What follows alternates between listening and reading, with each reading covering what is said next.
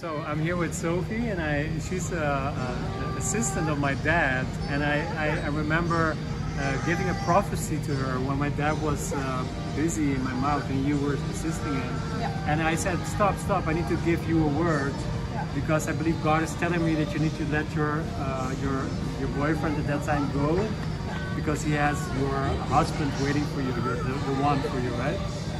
So what happened? What happened?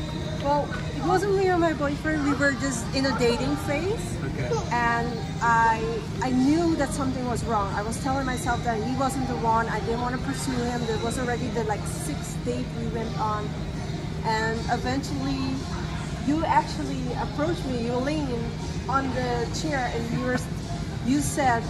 Sophie, let him go. God has a better one for you. I still remember That was the exact sentence. Exactly. Uh, yeah. Like let him go. God has a better one for you. And at that moment, I knew right away what he was saying. And I think the day after, I told him like, I'm sorry, I'm not continuing this dating, nothing.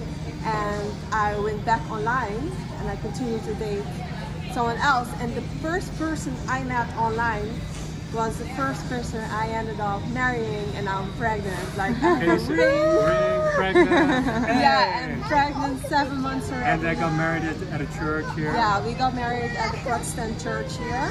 And you, you live here now? I live in Aruba, yeah. Oh, that's amazing. Praise Jesus. Yeah, You know, amazing. That's how God speaks. When we get something, receive something from God, we need to share it because it can change lives. You know, Jesus loves you so much, and also your child and your husband. So praise God. Exactly. Amen. For Amen.